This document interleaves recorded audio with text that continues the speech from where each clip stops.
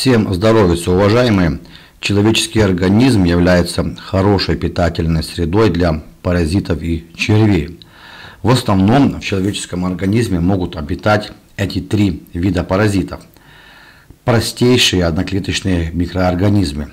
Эти одноклеточные микроорганизмы передаются через фекалии, песчаных мух и укусы комаров, зараженную воду и пищу. Они очень быстро размножаются и будут жить в тканях и крови человека.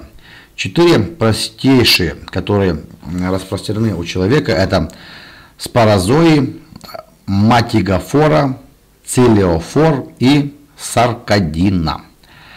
А, многоклеточные организмы гельминтов, в отличие от простейших, это многоклеточный организм, и взрослый гельминт виден невооруженным глазом типы этого организма. Колючий червь, круглый червь и плоский червь.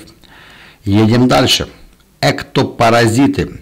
Это паразиты, которые могут жить в человеческой коже.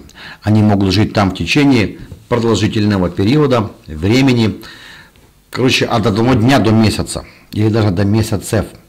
Примеры эктопаразитов – это блохи, клещи и вши. Они могут быть опасны для людей, поскольку являются переносчиками болезней, таких, кстати, как болезнь Лайма.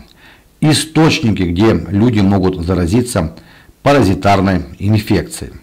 Это, конечно же, плохая санитария, гигиена, загрязненная питьевая вода, воздействие на места с паразитами, а, потребление плохо приготовленного мяса, контакт с инфицированным человеком, животным, потребление немытых овощей или фруктов. Поговорим о симптомах. Э, паразитарной инфекции, э, вздутие и газы, запор, потеря веса, диарея, боли в области губ и рта, боль в животе, физическая усталость, слабый иммунитет, э, частые инфекции дрожжей и мочевого пузыря, постоянный зуд гениталий и заднего прохода, дизентерия. Естественное средство устранения паразитов. Вот рецепт. Ингредиенты.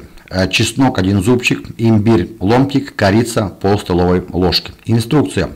Возьмите небольшую кастрюлю и нарежьте имбирь и чеснок. Добавьте корицу и стакан чистой воды.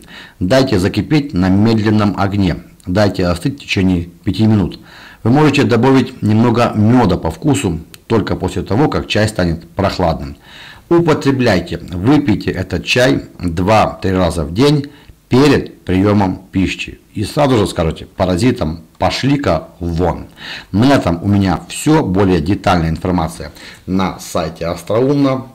Подписывайтесь, ставьте лайки, смотрите еще больше интересного видео на нашем YouTube канале. Всего наилучшего, услышимся.